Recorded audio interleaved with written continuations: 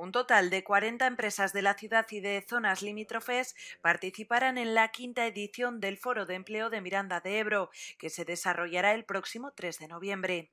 Esta iniciativa, organizada por la Confederación de Asociaciones Empresariales de Burgos, volverá a ser presencial tras el parón del año pasado a consecuencia de la pandemia, lo que obligó a desarrollar este foro de manera telemática.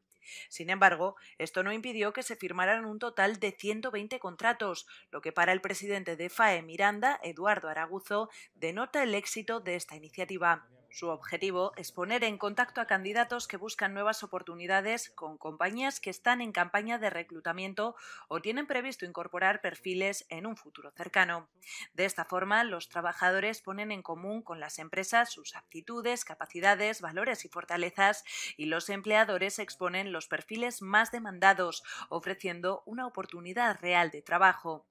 Como en anteriores ediciones, se demandan perfiles de todas las formaciones, si bien los profesionales cualificados siguen siendo escasos, por lo que son los perfiles que más buscan las empresas. Consiguieron eh, materializar 120 contratos de trabajo eh, a partir de ese foro y bueno, pues es algo que, nos, alegra, nos satisface y, nos, denota que tenemos una, un, muy buen eh, cartel en cuanto a a las empresas en cuanto a, los, trabajadores o a los desempleados, eh, que no tienen por qué ser todos desempleados, lógicamente, eh, que, allí se presentan y que, bueno, ponen en común con las empresas sus eh, aptitudes, las empresas también, y, esto la verdad que fue algo que el año pasado tuvo muy buena, muy buena aceptación, expusieron o expusimos qué es lo que, es lo que hacemos, cómo somos, a qué nos dedicamos,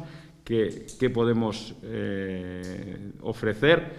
Es fundamental no solamente eh, hablar sobre eh, las dificultades de acceso a los puestos de trabajo por parte fundamentalmente de los jóvenes, sino crear y darles las herramientas que puedan posibilitar ese acceso en algunos casos a su primer empleo, en otros casos a una mejora de empleo, en el caso de que ya estén en alguna otra empresa y por lo tanto, bueno, pues yo creo que es eh, la representación mejor del aforismo romano res non verba.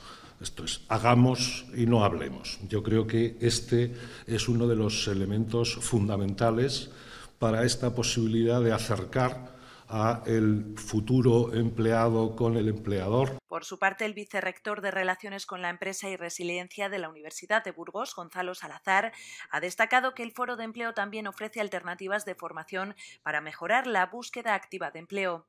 De esta forma, a través de diferentes talleres se impartirá formación en autoconocimiento y competencias blandas como marca personal o preparación del currículum y de una entrevista de trabajo. Y es que, según advierte, los trabajadores deben demostrar ante las empresas que son capaces de asumir el trabajo que se demanda y desarrollar los proyectos que exigen las compañías. Al mismo tiempo, deben de saber transmitir sus capacidades y conocimientos a los empleadores. Pero en este caso, dentro del foro de, empleo y empresa de que se realiza aquí en Miranda de Ebro, lo que hacemos es, además, aportar formación. Aportar formación en el ámbito de autoconocimiento y marca personal. Es decir, lo que comentaba antes, competencias de lo que llamaremos competencias blandas. La obra social La Caixa también colabora en la organización de este foro. Según el director de Banca de Empresas CaixaBank, José Barahona, esta iniciativa representa el ADN de la entidad. Se genera un punto de encuentro de oferentes de puestos, demandantes de empleo y que está muy ligado a, lo que nosotros representa el ADN, el ADN de CaixaBank, ¿no? que es nuestra obra social. La obra social el Ayuntamiento de Miranda de Ebro ha destinado una partida de 3.000 euros para sufragar los gastos correspondientes al evento.